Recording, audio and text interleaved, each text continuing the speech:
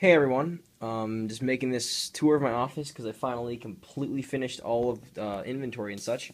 As you can see, I've got a boatload of used cubes and uh, a ton of stickers that are extra, a ton of DIY cubes, and uh, if you want to see any of this on the site, please let me know. Used cubes, stickers, DIY cubes, because I have a ton of those. Um, there's my Dayan shelf uh, with some ShengShou at the top there.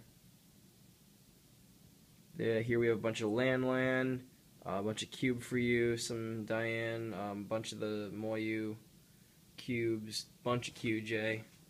Here we have more QJ, bunch of Magic, stack mats, timers, clocks, Smazi, Dian Sheng, uh, Type F, and then a lot of uh, Fangshi, Gear Cube, um, 11 by 11 MF8, whatever.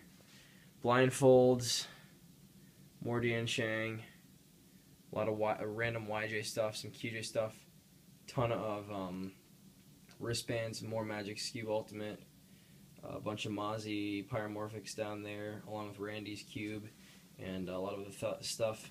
We have our Sports and Terminator cubes down there, uh, bringing those back.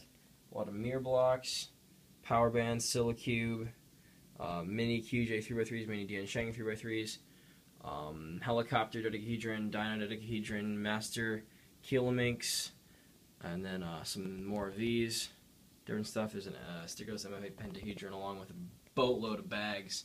Anyway, um, it is a pretty impressive spectacle over here. That's so many cubes. Uh, but I know you guys have been asking for an office inventory tour for quite some time, and uh, that is basically where the magic happens. There's my humble little chair. But yeah, this is the crib. So hope you guys like this video. I'll see you later.